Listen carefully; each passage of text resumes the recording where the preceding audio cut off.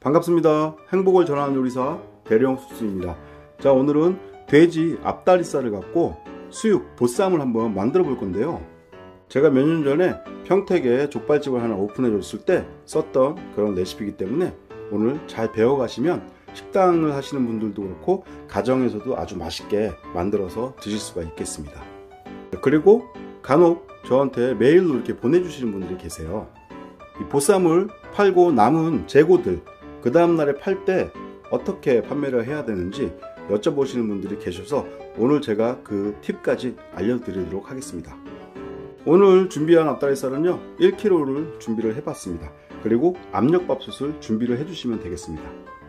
자 먼저 돼지 앞다리살을 핏물을 살짝 빼야 되는데요. 저 같은 경우는 오랫동안 담가 놓지 않고요. 겉에 이렇게 완전히 해동된 상태로 겉에 있는 핏물만 살짝 제거해서 준비를 해주시면 돼요. 그리고 이렇게 압력밥솥을 준비했는데요.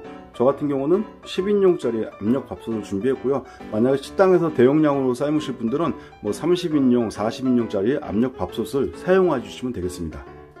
자 이렇게 준비해 놓은 밥솥에 양파, 양파를 밑에다가 먼저 좀 이렇게 깔아주세요. 무도 밑에다가 이렇게 깔아주시면 돼요. 여기에 이제 아까 준비해둔 고기 이걸 위로 이렇게 올려주세요. 대파도 조금 넣어주시고요. 그리고 소주, 물, 된장, 굴소스, 여기에 마지막으로 통마늘. 요 야채들은요 식당에서는 위생망 하얀 위생망에 놓고 건질 때 깨끗하게 이제 건져내거든요. 근데 가정에서 하실 때는 그냥 이렇게 하셔도 되고 식당에서는 조금 번거로우니까 건지기가 위생망을 사용을 해 주시는 게 좋습니다. 이렇게 뚜껑 덮어 주시고 가스불을 센 불로 켜주세요. 자 이렇게 추가 돌기 시작할 때부터 20분만 삶아주시면 되겠습니다. 자 이렇게 해서 시간이 다 됐습니다. 그러면은 이제 불을 꺼주세요.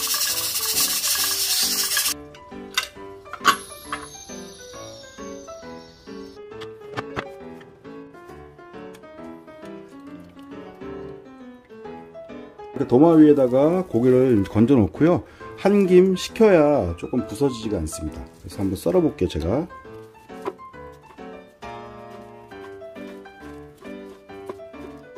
자, 저는 접시에 이렇게 세팅을 해봤고요. 가운데 무김치는 제가 영상으로 몇 편 올려놓은 게 있습니다. 그거 보시고 참고하셔서 만드시면 되겠습니다.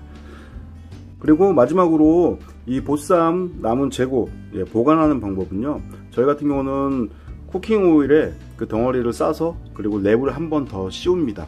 그리고 나서 냉장고 보관을 하세요. 그리고 다음날 이제 쓰기 직전에 아까 보쌈을 삶았던 육수 있죠 그건 버리지 마시고 건더기만 싹 건져내 주시고 그 육수를 항상 남겨 두셔야 돼요 거기다가 이 덩어리를 놓고 한번 팔팔 끓여 주시면 됩니다 팔팔 끓는 육수에다가 이 덩어리를 놓고 한 10분 정도만 데쳐 주시는 거예요 그런데 만약에 찜기를 사용해서 찌거나 전자레인지에 넣어서 데피거나 이러면 100% 잡내가 확 올라옵니다 그렇기 때문에 요 육수를 항상 남겨두세요. 삶고 나서. 이런 식으로 나가시면은 이제 재고 처리도 확실하게 되는 겁니다.